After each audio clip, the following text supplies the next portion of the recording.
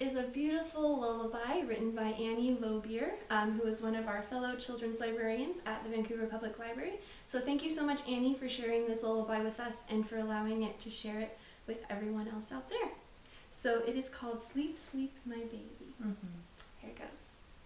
Sleep, sleep, my baby, sleep, sleep, my love. Fall asleep, my little dove. Dream of the ocean, dream of the stars. Rest your head in my strong arms. Sleep, sleep, my baby, sleep, sleep, my love. Fall asleep, my little dove. Dream of the whales, dream of the fish. Don't forget to make a special wish. Sleep, sleep, my baby, sleep, sleep, my love. Fall asleep, my little dove.